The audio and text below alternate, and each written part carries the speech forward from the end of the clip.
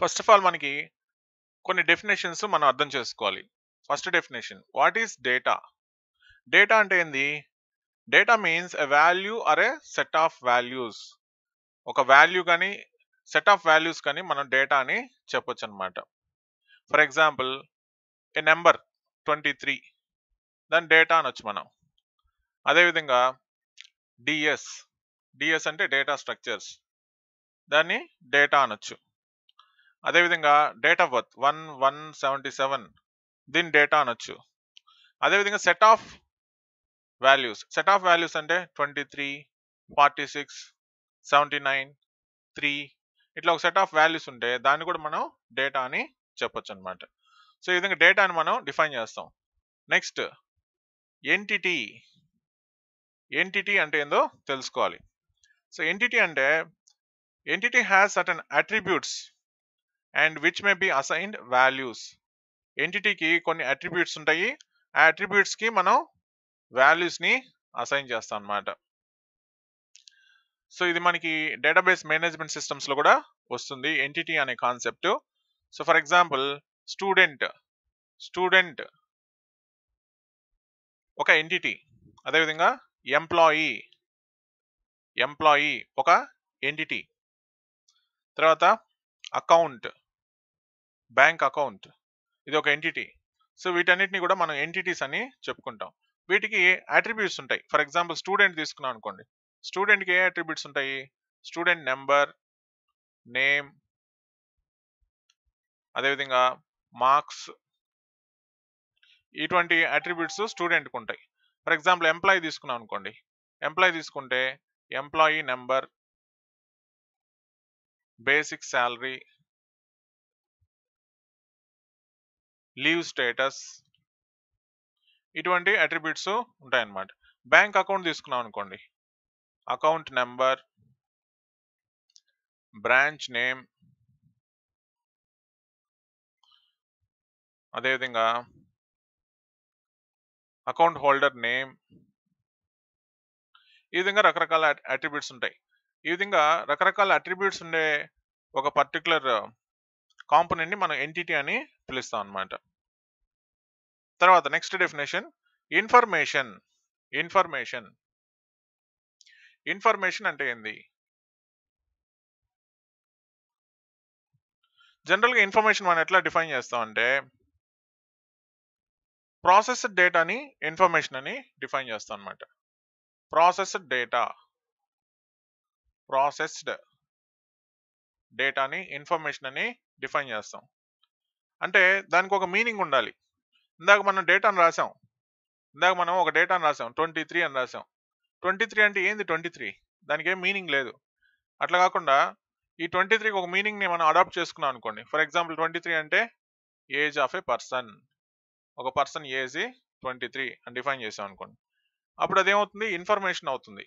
అదేవిధంగా ఇందాక one one seventy seven అని రాసాం so one one seventy seven అంటే ఏంది? మీనింగ్ లేదు. అట్లా కాకుండా if if it is a date of birth date of birth of a person date of birth of a person అటువంటిప్పుడు దానికి మీనింగ్ వచ్చింది. దాన్ని ఇన్ఫర్మేషన్ అని చెప్పుకుంటాం. ఓకే?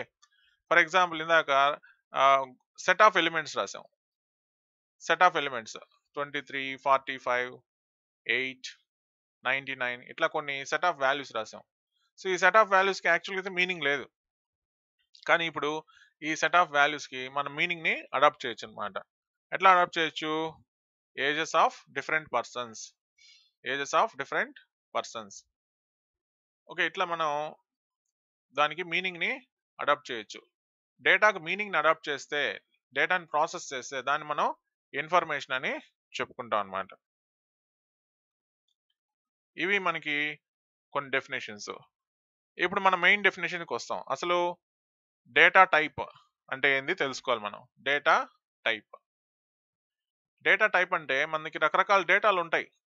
ఆ రకరకాల డేటాలని మనం కొన్ని టైప్స్గా డివైడ్ చేస్తాం అనమాట for example twenty three twenty త్రీని మనం ఎట్లా డిఫైన్ చేస్తాం? న్యూమరిక్ న్యూమరిక్ లేదంటే కొన్ని ప్రోగ్రామింగ్ లాంగ్వేజ్లో ఇంటీజర్ ఇంటీజర్ అంటాం. ఓకే అదేవిధంగా ఒక వాల్యూ తీసుకున్నాం అనుకోండి. డేటా స్ట్రక్చర్స్ డేటా స్ట్రక్చర్స్ ఒక స్ట్రింగ్ తీసుకున్నాం అనుకోండి. సో డేటా స్ట్రక్చర్స్ అని తీసుకుంటే ఇది ఏమవుతుంది? స్ట్రింగ్ అవుతుంది. స్ట్రింగ్ డేటా టైప్ అవుతుంది. ఓకే అదేవిధంగా twenty three forty five seven ninety two అట్లా కొన్ని వాల్యూస్ తీసుకున్నాం అనుకోండి. So ఇవేమవుతాయి? Array of integers array of integers ఈ విధంగా మనం డేటా టైప్స్ని డిఫైన్ చేసుకోవచ్చు.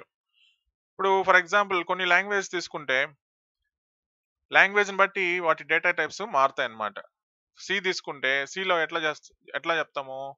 Int float int float double ఇటువంటి డేటా టైప్స్ మనకి ఉంటాయి. ఓకే సో అదేవిధంగా వేరే లాంగ్వేజ్ తీసుకుంటే వేరే విధంగా ఉంటాయన్నమాట. లాంగ్వేజ్ని బట్టి డేటా టైప్స్ చేంజ్ అవుతూ ఉంటాయి. నెక్స్ట్ మనం తెలుసుకోవాల్సింది ఏంటంటే డేటా టైప్స్ ఓకే కానీ ఆబ్స్ట్రాక్ట్ డేటా టైప్ అంటే ఏంటి అనేది మనం తెలుసుకోవాలి. Abstract data type. Abstract data type. అంటే ఈ మనం ఇందాక చెప్పుకున్నవన్నీ కూడా ఇంటు ఫ్లోటు డబుల్ స్ట్రింగ్ ఇవన్నీ కూడా మనకి ప్రీ డిఫైన్డ్ డేటా టైప్స్ లాంగ్వేజ్లోనే డిఫైన్ డిఫైన్ చేసుంటారు అట్లా కాకుండా మనం సొంతంగా ఒక డేటా టైప్ని డిఫైన్ చేస్తే దాన్ని మనం యాబ్స్ట్రాక్ట్ డేటా టైప్ అని చెప్పుకుంటాం. For example student. స్టూడెంట్ అనే ఒక డేటా టైప్ని నేను క్రియేట్ చేశాను అనుకోండి. అది యాబ్స్ట్రాక్ట్ డేటా టైప్ అవుతుంది.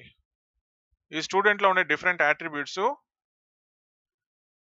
ప్రిమిటివ్ డేటా టైప్స్ని యూస్ చేసుకుంటాయి అన్నమాట ఈ స్టూడెంట్లో ఉండే డిఫరెంట్ యాట్రిబ్యూట్స్ ఏవైతే ఉన్నాయో అవి బిల్ట్ ఇన్ డేటా టైప్స్ని ప్రిమిటివ్ డేటా టైప్స్ని యూస్ చేసుకొని స్టూడెంట్ని మనం డిఫైన్ చేస్తాం అనమాట ఇప్పుడు స్టూడెంట్ని మనం అబ్స్ట్రాక్ట్ డేటా టైప్ అని చెప్పుకోవచ్చు. ఇకపోతే మన కాన్సెప్ట్ మెయిన్ కాన్సెప్ట్కి వచ్చేద్దాం. అసలు data structures data structures significance ఏంది? So what are the different types of data structures అనేది చూద్దాం. Okay? So data structures.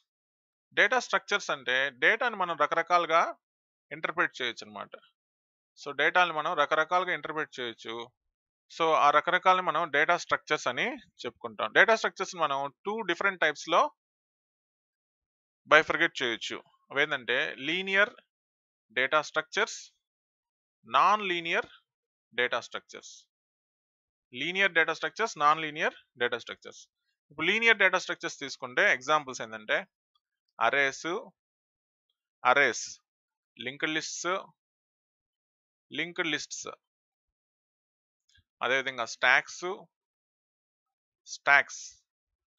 Next queues. ఈ ఫోర్ టైప్స్ ఆఫ్ డేటా టైప్స్ని మనం లీనియర్ డేటా టైప్స్ అని చెప్పుకుంటాం.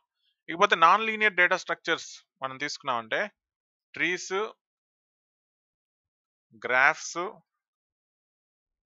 ఈ రెండింటిని మనం జనరల్గా నాన్ లీనియర్ డేటా స్ట్రక్చర్స్ అని చెప్పుకుంటాం అనమాట ఇంకా ఉంటాయి. కానీ సో మనకి యాజ్ పర్ సిలబస్ ఈ రెండు మనం తెలుసుకుంటే సరిపోతుంది. కాబట్టి మొత్తం మీద ఎన్ని డేటా స్ట్రక్చర్